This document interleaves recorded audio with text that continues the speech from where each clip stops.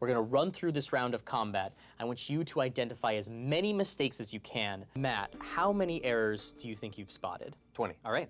Amy, 16. 16. Murph, how many do you have? 16. All right. Matt, tell me what you've spotted that's wrong. So first panels, uh, I didn't see too much wrong with the art. However, a demi-lich classically is just a skull. That's correct. It's A demi lich is just a skull. This is a regular lich. Yes. Next panel, when you run towards something, you cannot use a reaction. Something has to trigger a reaction. That's correct. Plus, the devil does not get an attack of opportunity by running towards it. Only by leaving melee combat with it does it get an attack of opportunity. Mm-hmm. And uh, Silvered Axe, as it is not a magical weapon, will actually not affect a Pit Fiend. I believe it is immune to all non-magical weapons. He's good.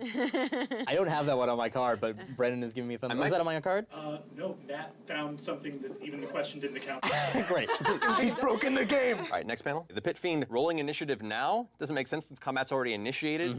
Next panel. Gruumsh One Eye is not the god of the Forge. That's correct. That is an orcish god. It's not the god of the forge. And then proceeding to use a second level spell slot to cast Fireball. Fireball's a third level spell. And also uh, is not a cleric spell. That is also correct. Uh, and also, Pit Fiends are immune to fire. That so is also have no correct. I'm just happy with myself that I'm getting some of these. I'm like, oh man. I, I'm a young grasshopper, but I'm willing to learn. You cannot cast ability and drink a potion in the same round. They're both technically actions. Next one, um, the Howl attack should still hit the rogue even if it, she's invisible. yes, that's correct. Then Vile Curse as a legendary action. You can only use legendary actions at the end of players' turns. And I do not believe Vile Curse has a charisma saving throw to resist. Uh, probably Constitution. It is a wisdom saving Or wisdom throw. saving throw. Okay. Next panel. Jump skill. Jump is not a skill. Nat 30 is not possible. You would not be able to sneak attack Uh-huh. the that's- Lich. That is correct. And not only does the rogue not have turn undead as a capability, but it's an action, not a bonus action, and is incapable of destroying the Lich because it's too high level. All three of those things are correct. I have 18 correct corrections there from Mr. Matt Mercer.